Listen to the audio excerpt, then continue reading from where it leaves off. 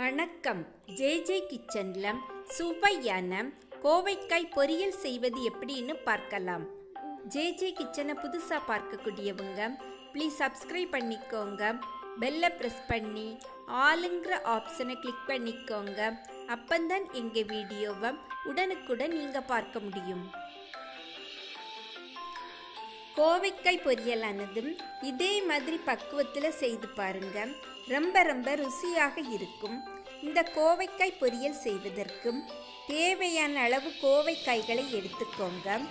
கோவைக்காய்களை நன்கு கழுவி இதே மாதிரி நீள வாக்கில் கட் பண்ணி வச்சுக்கோங்க. கோவைக்காய்களை கழுவின பிறகே நறுக்கிக்கோங்க. நறுக்கிய பிறகு கழுவாதீங்க. தேவையான அளவு எண்ணெய் சேர்த்துக்கோங்க. எண்ணெய் சூடானதும் சிறிதளவு கடுகு கறிவேப்பிலை சேர்த்துக்கோங்க.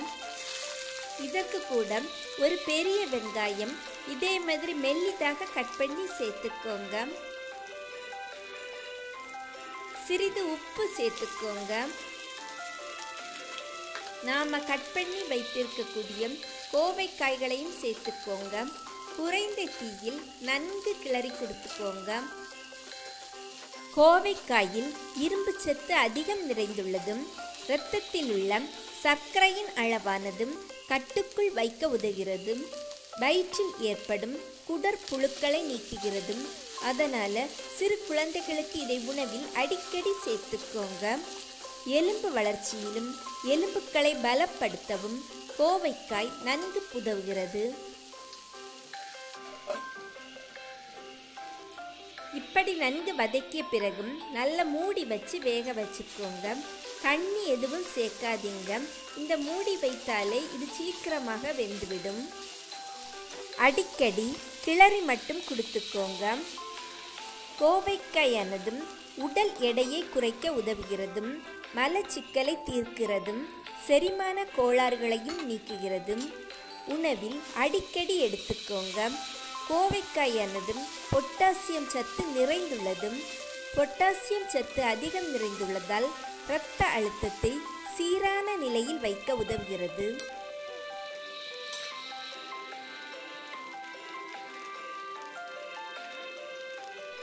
இதை கைகளில் எடுத்து பார்த்தா வெந்திருக்கான்னு தெரிந்துவிடும். இப்படி நல்ல வெந்த பிறகும் இந்த தூள் வகைகளை சேர்த்துக்கோங்க. இதற்கு கூட தேவையான அளவு மிளகாய்த்தூள் மஞ்சள் தூள் சேர்த்துக்கோங்க. சிறிதளவும் நல்ல மிளகு தூளும் சேர்த்துக்கோங்க.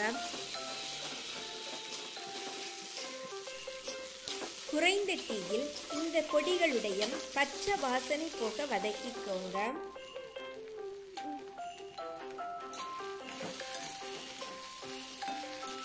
அடிக்கடி கிளறி மட்டும் கொடுத்து சுவையான கோவைக்காய் பொரியல் சீக்கிரமாக ரெடியாகிவிடும். கண்டிப்பாக இதே மாதிரி ட்ரை பண்ணி பாருங்கள் உங்களுக்கு ரொம்ப ரொம்ப பிடிக்கும். உங்களுக்கு பிடிச்சிருந்தா அப்படியே லைக் பண்ணி உங்கள் ஃப்ரெண்ட்ஸுக்கும் ஷேர் பண்ணிக்கோங்க. உங்களுடைய கருத்துக்களை மறக்காமல் கமெண்ட் பாக்ஸில் பதிவிட்டுக்கோங்க. புதிதாக பார்க்கக்கூடியவங்க மறக்காமல் சப்ஸ்கிரைப் பண்ணிக்கோங்க. வீடியோ பிடிச்சிருந்தா லைக் பண்ணிக்கோங்க ஷேர் பண்ணிக்கோங்க சப்ஸ்கிரைப் பண்ணி பெல் நினைச்சு ஆனும் காசு இப்போ வைக்கோங்க அப்போ நாங்கள் வீடு உள்ளதுடன் பார்க்கலாம்.